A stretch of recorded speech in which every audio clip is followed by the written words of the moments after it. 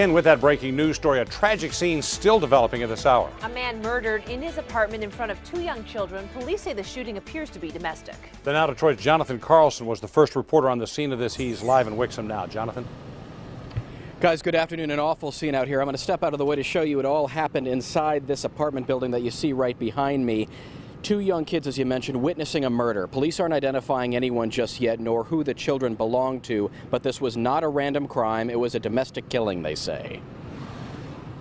Wixom police comforting two young kids this hour after the apartment they were in became a murder scene. Officers say a woman shot a 21 year old man in the face, killing him as the children watched. They were unharmed, the suspect taken into custody. Neighbors tell Action News they heard fighting before the gunshots. A back window was shattered in the violence.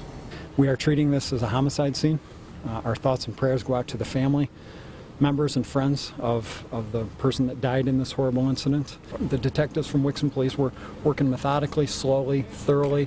Uh, we are going to obtain a search warrant uh, for the residence behind us, and, and we're, we're going to seek the assistance of, we've already sought the assistance of the Oakland County Forensic Laboratory. Now, the suspect not being named yet, she won't be named until after arraignment, but I'm told it's a 37 year old woman by sources. Coming up at 6 o'clock, you'll hear from one of the neighbors.